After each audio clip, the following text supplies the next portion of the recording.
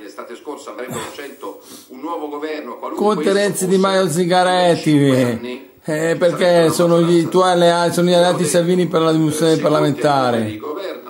Vuole, adesso volevo andare a votare. Sono in qualunque paese europeo le elezioni. È caduto il governo in Olanda ieri. Le elezioni, le elezioni in piena pandemia vuol dire far aumentare ancora il contagio del coronavirus, come per il referendum che non doveva essere fatto. E, intanto, e infatti è stato fatto ricorso al TAR del Lazio. In Parlamento come nel paese ci sia possibile una maggioranza di centrodestra. Sì. Ma se, eh, fi, eh, eh, lo scorso governo era con, con, con Di Maio, Conte e Salvini. Sono tutti d'accordo per fare la diminuzione dei parlamentari. Adesso vogliono rifare le elezioni per fare la dittatura, fare le leggi parlamentari sono quelli che vogliono loro. Affrontare le sfide che ci aspettano in queste condizioni. Ma pensa a te, ma, se, ma magari ce la, ci saranno i voti anche de, di qualcuno della Lega. Il Consiglio che domani non avesse la maggioranza assoluta in Parlamento. Mandiamoli a casa.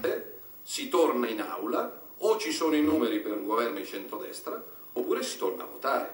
Io allora, alternative pateracchio che mettono insieme tutto il contrario di... Bisogna votare se, aument- se, aumentano, se aumentano ancora le infezioni del coronavirus.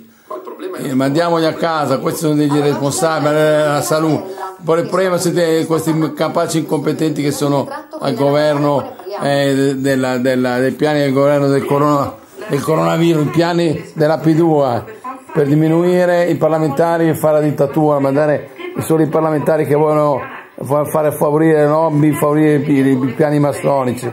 Mandiamo a casa Salvini, Meloni, Zingaretti, tutti i, i fautori del piano della P2 quindi la nuova P2 del, del, del coronavirus. Ma andiamo a casa, votiamo no al prossimo referendum che sarà indetto dal TAR del Lazio dopo il ricorso.